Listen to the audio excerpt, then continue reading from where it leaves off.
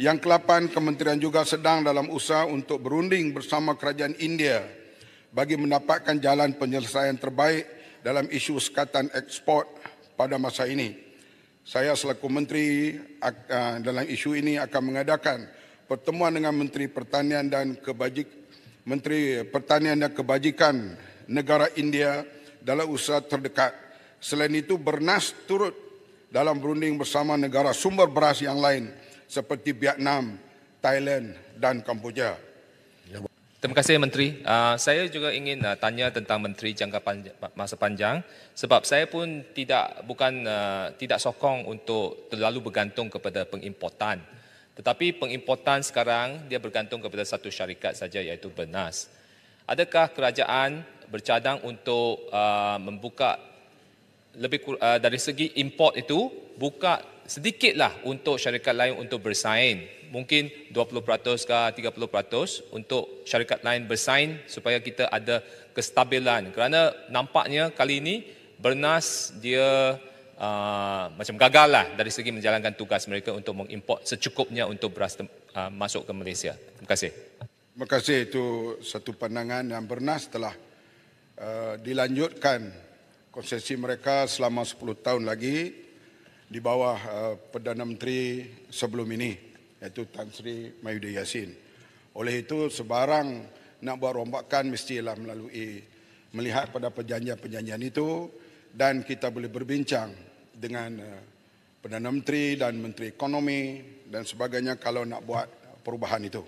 Sebab perjanjian itu selama 10 tahun antara kerajaan dengan pihak Bernas. Walau bagaimanapun cadangan itu diambil perhatian dan kami akan berbincang di peringkat lebih tinggi kalau kita nak rombak itu bagaimana sebab perjanjian itu telah ada uh, 10 tahun. Sehingga kini stok bekalan beras adalah sebanyak 900 ribu tan metrik yang terdiri daripada 250 ribu tan metrik stok pile kerajaan dan 650 ribu tan metrik stok dagangan. Jumlah ini adalah mencukupi untuk menampung keperluan beras negara dalam tempoh Empat hingga lima bulan. Sehubungan itu, KPKM berpandangan bahawa masih belum terdapat keperluan mendesak yang bersifat kecemasan untuk menggunakan stok stockpile yang berjumlah 250 ribu tan metrik. Stok dagangan sedia ada sebanyak 650 ribu tan metrik adalah mencukupi bagi menampung keperluan domestik. Saya amat memahami hakikat bahawa isu kekurangan bekalan beras di pasaran kita tidak hanya akan selesai melalui langkah intervensi yang saya sebutkan sebentar tadi. Namun langkah intervensi tersebut dilaksanakan bersekali dengan usaha peningkatan produktiviti, produktiviti padi. Sekiranya pengeluaran padi bertambah, insyaAllah kekurangan bekalan beras akan dapat diselesaikan dan import dapat dikurangkan. Ini usaha gigih yang sedang kita buat.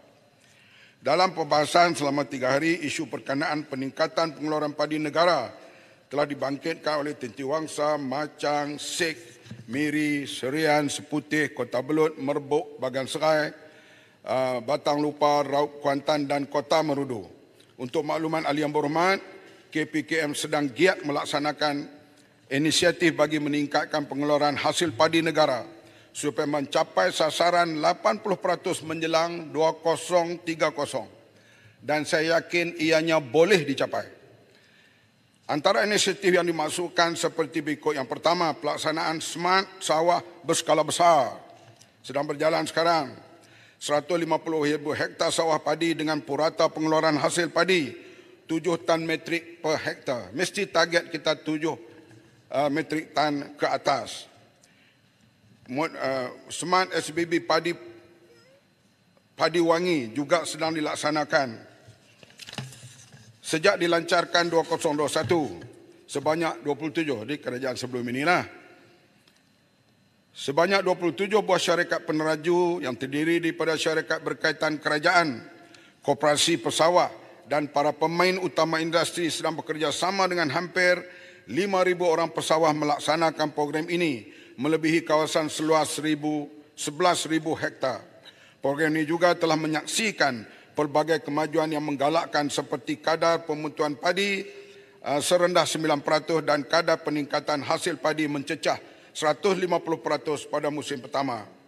Terkini program ini telah dinaikkan memperkenalkan model baru yang dikenali sebagai program Smart SBB Mini Skincan.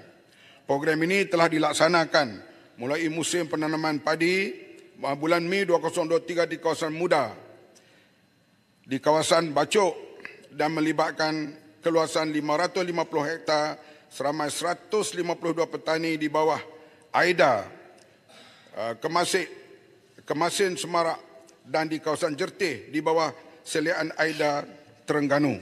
Dan kita lihat di uh, di uh, lat seribu perlis hasilnya sampai kepada 11.4 tan satu satu hasil yang begitu tinggi yang diusahakan secara ala skincan ini yang terlibat termasuklah Bernas termasuklah MADA dan agensi-agensi yang lain.